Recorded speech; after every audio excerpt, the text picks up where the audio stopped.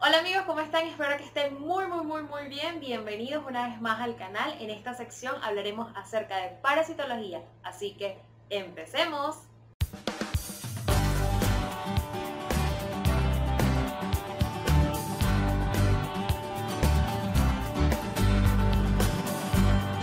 Hola amigos, ¿qué tal? Bienvenidos una vez más al canal. Mi nombre es Marielis Betancourt y hoy vamos a hablar acerca de este parásito que se llama Trypanosoma cruzi y que provoca la enfermedad de Chagas. Aquí podemos observar el parásito de Trypanosoma cruzi en movimiento. Si se dan cuenta, parece como una especie de gusanito y él tiene ese movimiento característico porque tiene un flagelo y además de esto una membrana ondulante que es la que le permite el movimiento. Específicamente esta es la forma de tripomastigote. El tripomastigote se encuentra en sangre. Ahora nosotros vamos a ver cómo podríamos dibujar este parásito. Lo primero que tenemos que saber es que Trypanosoma cruzi tiene, número uno, un cuerpo fusiforme, un núcleo, que es este que pueden observar acá, además de su membrana ondulante, que es esta que dibujo con rayitas, y por último el kinetoplasto del cual sale el flagelo. Entonces, ahora sí podemos ver todas las formas evolutivas. Tenemos a nuestro amigo tripomastigote, también tenemos a nuestro epimastigote y por último al amastigote. ¿Cuáles son las características del tripomastigote? Lo primero que tenemos que saber es que él tiene una forma alargada.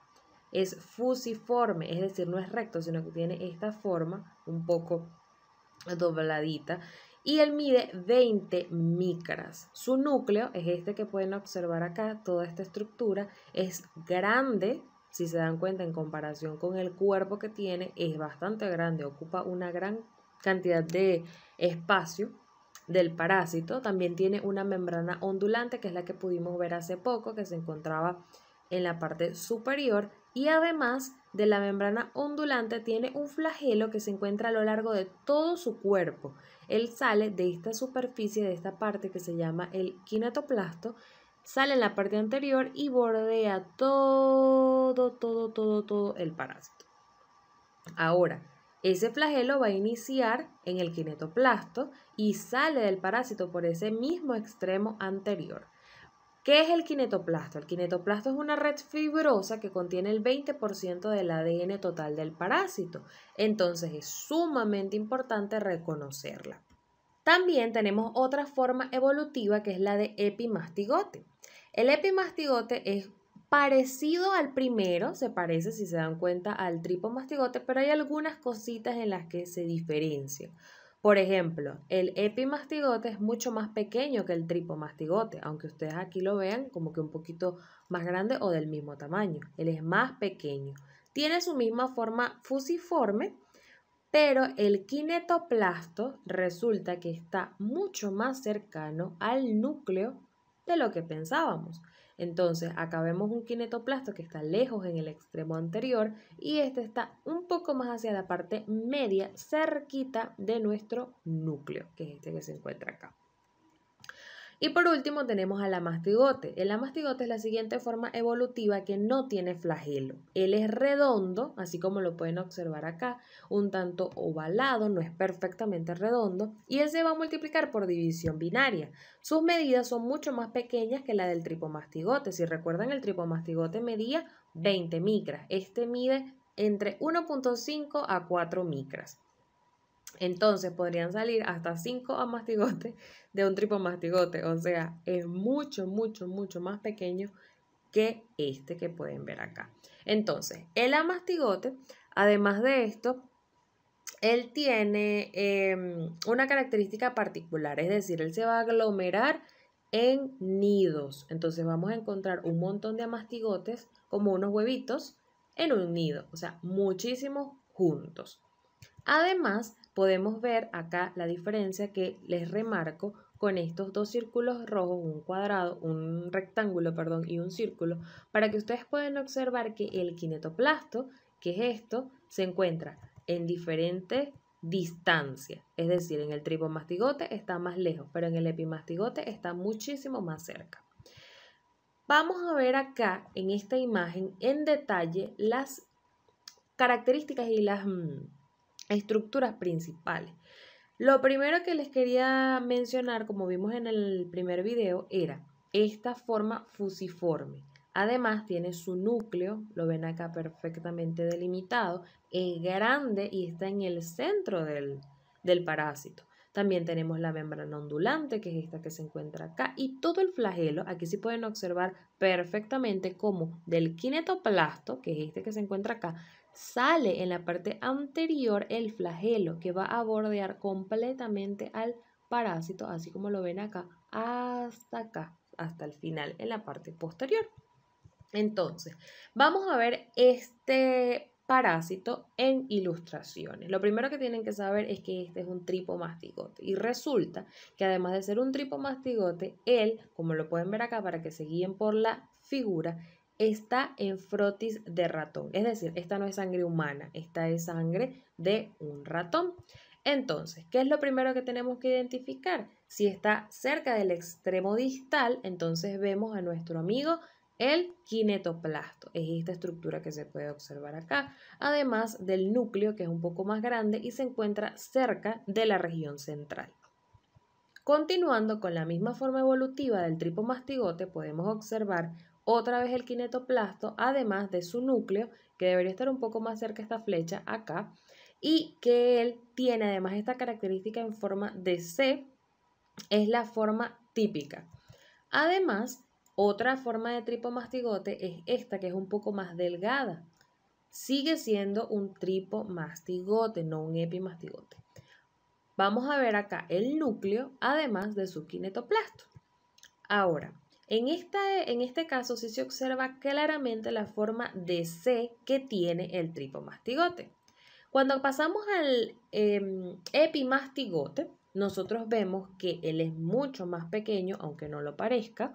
Además de esto, vemos que las estructuras están un poco más pegadas. Esta acá parece ser un kinetoplasto y este el núcleo.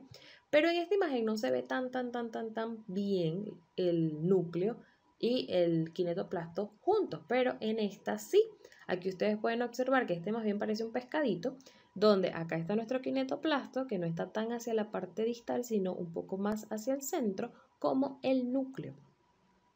Ahora vamos a observarlo en un microscopio electrónico de barrido. Esta imagen es cortesía del mismo Botero, de donde sacó la información. Ahora, este es el triatomino que ocasiona la transmisión de este parásito. Entonces, en las heces de este triatomino que se llama Rhodnius prolixus, se encuentra el parásito. Cuando él entra en contacto con la piel del ser humano, es que comienza e inicia la, enfermedad. Ahora, hay un signo característico que ustedes tienen que memorizar desde ya porque en mi universidad me lo preguntaron y quizás a ustedes también se lo pregunten. Por ejemplo, ¿qué es el signo de Romaña? El signo de Romaña es lo siguiente. Uno, Edema bipalpebral. Lo podemos observar acá. También tenemos conjuntivitis, queratitis y dacriocistitis. Entonces, si les preguntan cuál es el signo de Romaña y por qué se produce, ya ustedes saben que es porque nuestro amigo Trypanosoma cruzi anda por ahí rondando cerca de, de este paciente y además que tiene la enfermedad de Chagas. Ahora, Aquí yo les había mencionado que el amastigote estaba en forma de nido, pues acá pueden ver un cultivo de células donde se encuentra Trypanosoma cruzi. Todo minado, minado, minado, minado de amastigotes. Ojo, nidos de amastigotes. Y este está específicamente en músculo cardíaco. Una de las características principales es que este parásito afecta bien sea a órganos como el corazón, el esófago, el colon y puede ocasionar, en el caso del corazón, algo que se llama cardiopatía chagásica.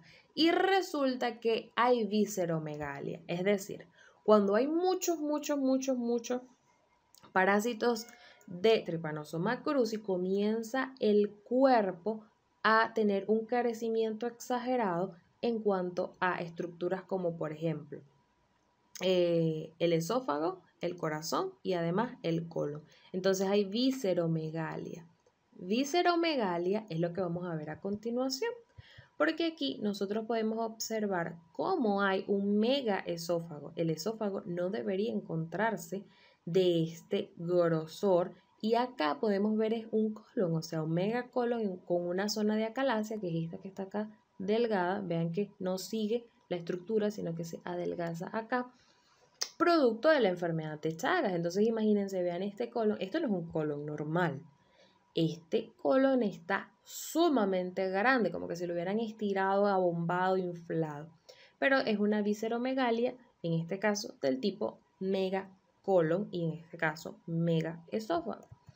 Por otro lado, quería hacer un cuadro comparativo de las formas evolutivas entre la enfermedad de Chagas, la leishmaniasis y la enfermedad del sueño. Lo primero que tienen que saber es que la letra A en el cuadro que les voy a mostrar es para amastigotes, la P para promastigotes, E para epimastigotes y T para tripomastigotes. Aquí vemos el cuadro, entonces donde ustedes observen que está de color amarillo, es para enfermedad de Chagas. Si está azul es para leishmaniasis y si está de color morado es para enfermedad del sueño. Para el concepto de la clase de hoy lo que nos importa es la enfermedad de Chagas. Entonces, si yo les mencioné cuáles eran las formas evolutivas, ustedes pueden recordar que les hablé primerito de tripomastigote. Entonces, en el hombre, ojo, en el hombre y en el vector, que viene siendo el triatomino rotnius prolixus que le mostré la imagen, que es el que lo transmite, este, eh, esta forma evolutiva de tripomastigote se puede encontrar en el hombre y en el vector. A diferencia del amastigote, que era el más redondito, él solamente se puede encontrar en el ser humano. Nunca van a encontrar a la forma de amastigote en el vector. Y acá podemos ver el epimastigote que también se encuentra en ambos. Se encuentra tanto en el hombre como en el vector. Sabiendo eso, ya ustedes tienen en mente el concepto principal de las tres formas evolutivas. Entonces, si a ustedes les dicen, em, en el en cruzi, el parásito Trypanosoma cruzi tiene promastigotes, ¿qué responderían ustedes? ¿Sí o no? Según este cuadro. Según este cuadro, ustedes deberían responder que no, porque acá no hay ningún color amarillo. Entonces no les estoy señalando que existe un promastigote.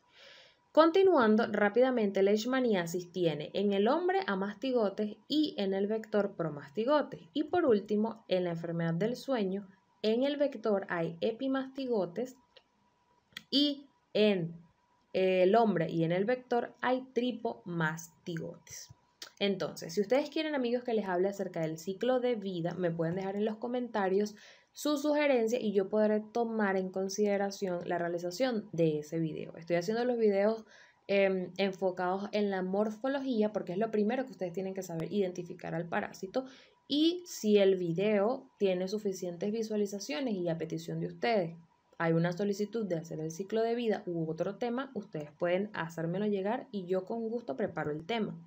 Quiero agradecer muchísimo a Nelis Camena, que fue la que sugirió este video de tripanosomiasis. Gracias a todos los que han dejado sus comentarios, a Kevin, a José, Celeste. Muchísimas, muchísimas gracias a todos, incluso a Saúl, porque sus comentarios me motivan y me ayudan a que yo pueda seguir haciendo contenido de valor, valor para ustedes. Y bueno, también tengo una frase que es la siguiente. La vida de la mayoría de la gente es un reflejo de su grupo de iguales. La sabiduría popular lo expresa de esta manera. Si vive entre codornices, es muy difícil aprender a volar como las águilas. Hay entornos tóxicos y entornos estimulantes, entornos que empujan hacia arriba y entornos que tiran hacia abajo, entornos que alimentan la confianza y entornos que alimentan el miedo, entornos que sacan lo mejor de uno mismo y entornos que reprimen el potencial que todo ser humano atesora en su interior. No hay nada peor en esta vida que estar rodeado de personas pesimistas, quejicas, victimistas y derrotistas, que han hecho de las excusas y la negatividad un estilo de vida. El entorno es la tierra en la que te cultivas, y unas tierras son fértiles y otras estériles. Cuida escrupulosamente con quien pasas tus horas. Anthony Robbins. Y bueno amigos, ya saben, la bibliografía es del Botero, del Harrison y del Oriel, que es el Atlas de Parasitología, y les voy a dejar esta pregunta. ¿Cuáles son las tres formas evolutivas de Trypanosoma cruzi? ¿Qué fue el tema de hoy? Vamos a ver, opción A, kinetoplasto, amastigote, epimastigote. Opción B, tripomastigote, epimastigote, promastigote. Opción C, tripomastigote, amastigote, epimastigote. Sé que parece como una especie de trabalengua, pero pueden dejar la respuesta acá en los comentarios o en mi Instagram, arroba doctora 7. Y bueno, por acá simplemente quería decirles que por favor se suscribieran al canal. Pueden hacerlo buscando mi nombre, buscando la partecita roja donde tienen que darle a suscribirse, ir a videos y poder observar cualquier video que ustedes quieran, darle me gusta, miren, no saben cuánto me motiva ver que el video tiene buena receptividad. Además de esto, si ustedes quieren, por ejemplo, ir a una lista de reproducción, pueden hacerlo. Hay de parasitología, tengo tips de estudio, incluso de libros. Me voy a poner a trabajar en los idiomas también. Así que acompáñenme. Hay diferentes secciones, hay para todos pueden dejar sus comentarios, la verdad me haría muy feliz haciendo eso. Y bueno, amigos, muchísimas gracias por haber visto el video. Nos vemos en el próximo. Chao, chao.